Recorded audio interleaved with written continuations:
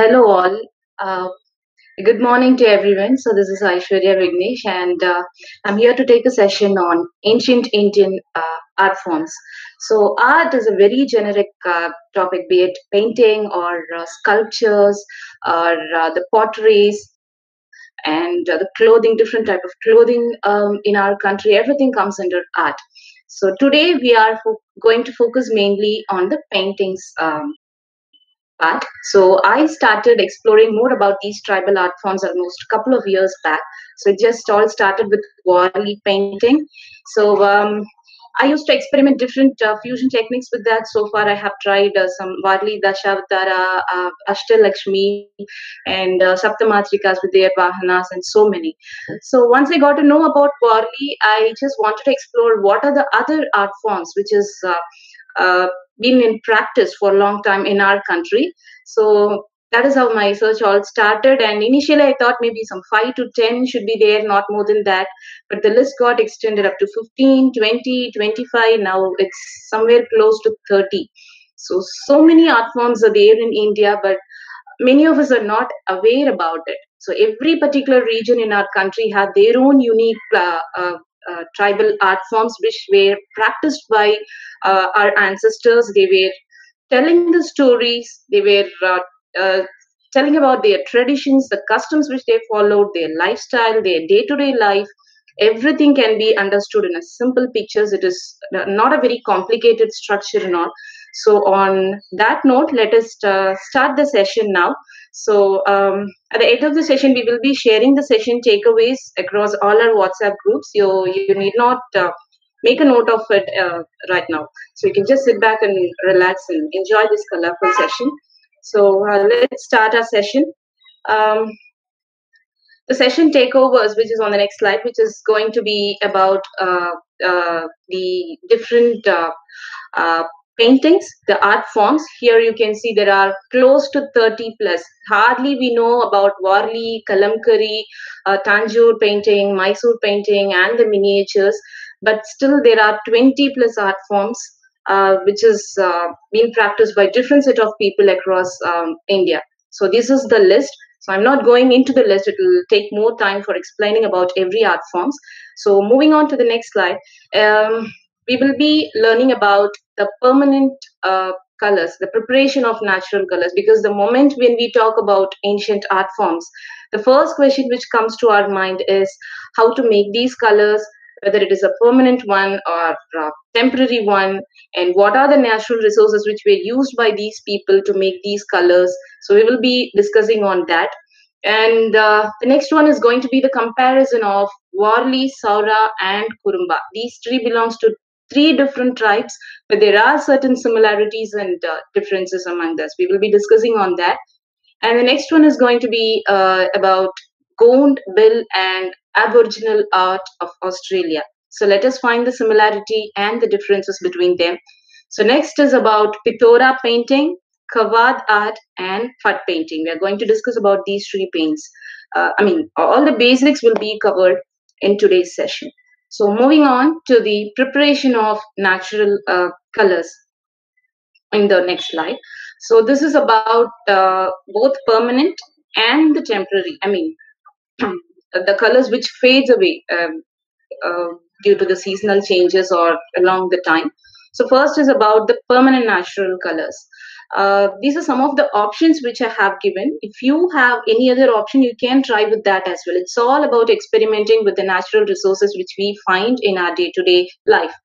So the red color, you can obtain it from the peepal tree bark. Uh, simply, you can take some one, two inches peepal tree bark, almost 10 pieces of it, uh, add half a cup of water, boil it in a vessel, maybe for 20 to 30 minutes. So after that, you will be getting uh, hardly some 30 drops of the liquid. That is a pigment. So once again, you have to uh, remove all the barks and boil the solution itself for another 10 minutes. Uh, and uh, you will be getting a, a good bright red color, a blood red color. So based on the um, there will be some color variations, right? Like from light red to blood red red. So whatever the color you want, you can boil it till you, you reach that uh, particular color. And uh, next one is about uh, yellow. Yellow, as we all know, you can use fresh turmeric, not the powder, not the dried ones. You have to use a fresh turmeric. Use a traditional mortar and pestle uh, and uh, grind it into a fine paste. Take a muslin cloth, filter the liquid. You will be getting a fresh turmeric uh, color a bright yellow color out of it. And uh, butterfly pea you can use for uh, use for blue. And you can uh, squeeze the rose take out the uh, pink color out of it. And uh, the soot from the lamp can be used for black. And to make it as a permanent color you have to use arabic gum or you can use any tree resins. Uh, um, in case of arabic gum it just looks like uh, beeswax only. You can just uh, uh, pour uh, some two, three cups of water based on the quantity which you need and let it rest for half an hour. After that, you will be getting a very honey-like consistency. So based on the quantity, you can mix this Arabic gum liquid with the uh, colors which you have prepared already, with the pigments which you have prepared already, and your permanent color is all set. You can experiment with this. So this is all about the natural colors. So now let's move on to the next topic, the comparison between Warli, Saura, and the Kurumba art. Okay, so the first picture on the left is Warli, and the second one on the right is Saura. So the minute you see these two pictures, for any layman, it is very difficult to find the differences between these two. But there are they are completely different tribes who are living in two different parts of the country. So Warli is a, a painting which is done by Warli tribe of Maharashtra. So for them, it is uh, predominantly done for decorating their houses, be it any festival like religious festival or um, any wedding or any village festival or if the harvest is going to happen for anything and everything, any celebration for that matters, they decorate their house with this Warli painting. So um, most of the houses will be uh, built with bamboo only. It's a bamboo hut. So the wall will be covered with mud. They will be using uh, red clay or uh, geru. Geru is also a material. They will be mixing it with water. Give a coating in the wall so the red base is all set. It's ready. So next they will be using the rice paste. They will be mixing the rice flour with the water and they make a good paste out of it. They use bamboo stick for marking the outlines and they chew the bamboo stick and make it so soft and supple like a brush so that their brush is also ready. Um, they will be using that brush for filling in so this warli is uh, all about the geometric shapes. Just two triangles, two lines for hands, two lines for the legs, and a circle at the uh, for the head. Um, the picture is already. There is no expressions, mouth, uh, nose, or eyes, nothing. Uh, it's a uh, representation of a simple art form which represents their uh, day-to-day lifestyle to the future generation very clearly. So next is Saura. Saura is very much similar to Warli. We can say it is in uh, elongated form of Warli. Okay, so Saura is a tribe who were uh, residing in uh, Orissa.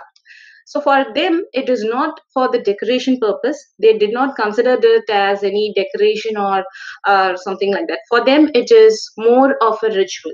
So these tribes are the one who believe in good spirits and bad spirits as well.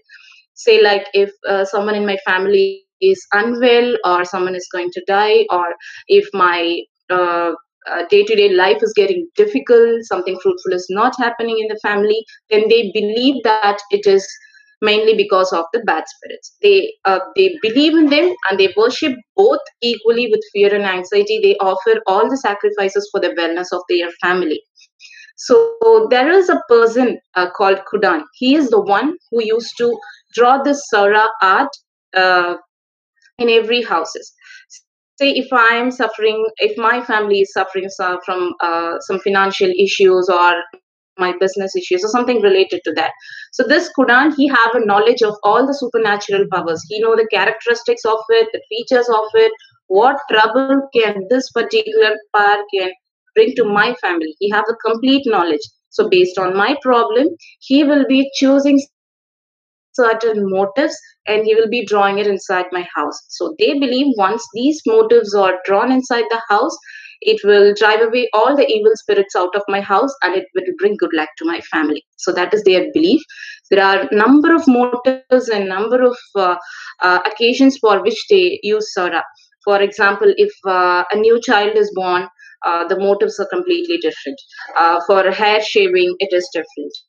And um, similarly for naming ceremony it's different. For wedding it's different. Someone is going to uh, i mean going through some illness or someone is dead or 10 or 16th day after their death every for every uh, occasion they have different motive and different structure to be followed and one common difference which you can find between Warli and Saura is that Warli picture will be completely scattered they don't go with the layers whereas in Saura you can see the layers. Like in the center, it is a pentagon, and there are some five, six rows in that. They divide it into the rows. There is a calculation behind it. There is a calculation in using the motives and all, which the Kudan will know completely. And based on that, they were using these motives. And uh, is. Uh, sometimes it is drawn with two triangles. If you look at the top layer, the girls who are dancing, it is uh, done with two triangles. And if you just look inside the pentagon, the men with the drums and trumpets and who are dancing, only the upper part of the body is triangular. The lower part is with the sticks. Okay, so this you can note down these minute differences only in Warli and Saura. It is not a very uh, uh, major uh, changes. The time you look at both the pictures, it almost looks different, but the tradition, the culture, and the rituals behind this is completely different. So, moving on to the next slide, let us uh, uh, see about Kurumba painting.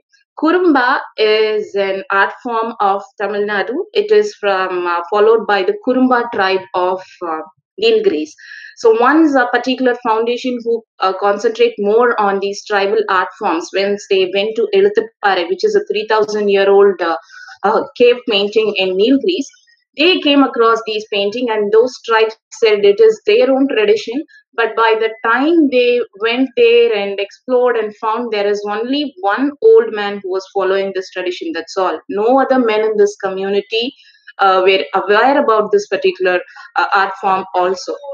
So then they funded and made him teach to his grandson and now he is teaching to other tribal people of his community there are some restrictions with this particular art. Uh, it is done only by the male of the family. Uh, female does not do it. And that too, not every man can do it. The man who's taking care of the temple or the man who's a priest in the temple will be uh, drawing these in the walls of the temple. That too, yearly once when the festival comes. Uh, so, coming to the features part, this is also a stick figure like Warli and Saura, but the difference is with the body. For Warli and Saura, it's triangular, but here it is rectangular.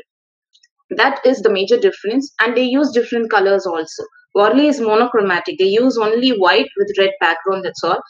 Uh, Saura, hardly they use any colors. Mostly it will be black. But in Kurumba, they use four colors. Like green, they get it from uh, the local uh, trees, leaves. And uh, uh, red and clay they get it from i mean red and white they get it from the local clay which is available. And uh, yeah that's with the colors. Mostly they use green red and uh, white. Black they get it from the tree. They call it as karimaram there is a separate tree for that. They get it from the barks of the tree and uh, they do the painting with the cloth. They dip uh, the cloth in the paint and they just draw it in the wall. This is how this painting is done by this particular tribe. There is not much information about this tribe or this painting because it is almost at extinct and people are recovering only now. So this is the similarities and differences about Warli, Saura and Kurumba.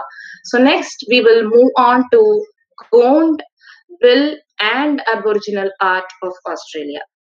So Gond art, it is practiced by a group of tribe, Gond. Uh, Gond means, uh, in Dravidian language, it's Gond, which means a, gr- a green mountain. So they settled in parts of Andhra Pradesh, Madhya Pradesh, and Orissa. So they speak uh, Telugu and other Dravidian languages, one of the oldest tribe of India. So if you can see in these pictures actually these are quite modern ones. I couldn't get the exact original traditional version of it but the outlines will be very simple. And uh, moreover uh, if you could see the fillings it will be very uniform and neat symmetrical. It is not scattered. Uh, the second picture will be even more clear. It is of uh, i have i mean i have given a closer vision so that uh, those lines are clearly visible see all the lines are equal. There is no bigger smaller. It is not scattered. Everything is arranged so uniformly. So the outer structure is very simple. But the way in which they portray the image uh, these people usually paint it inside their houses inside their walls uh, because they believe good image brings good luck to their family. So um, they paint it on the windows on the walls on even on the floors so of course they use all the natural pigment colors only and uh, this is also not a permanent one. This is a temporary painting. They do it over time based on the uh, festivals uh, or uh, the ceremonies they celebrate they keep changing it. And uh, it will be almost 10 8 to 10 feet high inside the house.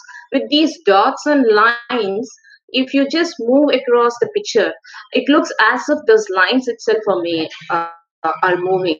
This is an ancient two-dimensional picture which you could uh, say. It is designed in such a way. In the first picture this is quite modern version where you can see the semicircles are used. So nowadays artists are using different uh, uh, uh, motives on that. But the main idea is all should look equal uh, same and it should not be uh, scattered and all it is up to an artisan to choose which type of motif he wanted to use to fill it up with so this is about Gond art the next one is the Bhil art so it is here uh, yeah you can see the moment you see, you cannot find much difference between Bhil and Gond because the outline is almost the same. Bhil uh, is quite naive. Uh, I would say Gond is quite perfect with their uh, outer structure as well. For example, uh, if you want to draw a paw of a cat or a leg of a deer, it will be more perfect in Gond. Whereas uh, in Bhil, it is quite uh, uh, impressive. It is a paw, it is represented. That's all. So that is the minute difference in the in the outline. So outline wise or the moment you see the picture, it almost looks the same, but the difference is there with the filling. In Bhil art, they use only the dots for filling. It is all, it is not scattered. It is not of different different sizes and all. They use the same color, same size of dots throughout the pictures. It is done so today we might think like, okay, what's there in the dot, what's there in the line? It's easy to draw, but on those days with the limited supplies, with the limited materials, they were able to draw these kind of paintings up to eight or ten feet high, which is looking so uniform and neat. So that is the beauty of this. If you could look at the pictures of, two men carrying a deer there are different shapes of circles. One is larger, one is bigger. They have used different colors also, but it does not disturb the image. It is all neat and uniformly distributed uh, in the complete picture. Okay, so next let's move on to an interesting part. This is uh, an uh, Australian Aboriginal art. This art was followed by the tribal people of uh, Australia. So what it has got to do with Gond and Bhil? So once they had an exhibition, an international exhibition, um, where they displayed both Gond and Aboriginal and uh, uh, Bhil as well. But most of the people could not find any difference between these three. They all looked almost same. So then they took some research, and uh, some of the researchers even suggest that when when a major tribe movement was happening, migration was happening, maybe the Australian tribes should have moved across this Bhil and Gond region and they learned these um, art from these people. They took it to their land and they started practicing over there. The only difference which you can see there is the animal pictures. That is uh, completely uh, up to the local people. Whatever they see in the surroundings, they will be uh, drawing only those pictures. So here it's kangaroo, tortoise, some reptiles are represented. But other than that, the pattern and the technique which is used in this art is very much similar to that of Bhil and Gond. Actually these Bhil, Bhil people they are from part of madhya pradesh gujarat extends up to rajasthan so some scholars believe that they have traced their ancestry to Eklavya, Ekalavan of Mahabharata, and uh, some even say Valmiki, who wrote um, Ramayana, is also a Bhil tribe. They are one of the oldest tribes of India. So this is all about Bhil, Gond, and Australian Aboriginal art.